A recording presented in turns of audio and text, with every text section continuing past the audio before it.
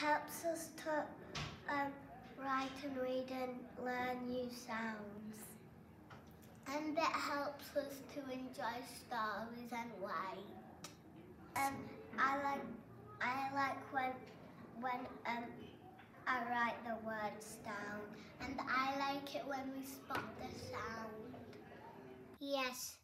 Why do you like phonics?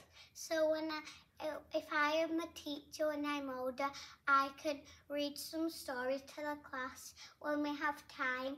And if I'm a mummy, I can read stories to my children as well.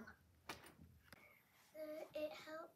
Phonics helps us to learn new words. Brilliant. And it helps us to read new books.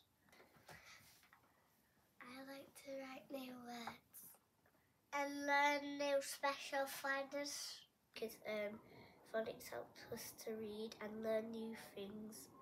And doing the questions because you get to find out if it's right or wrong.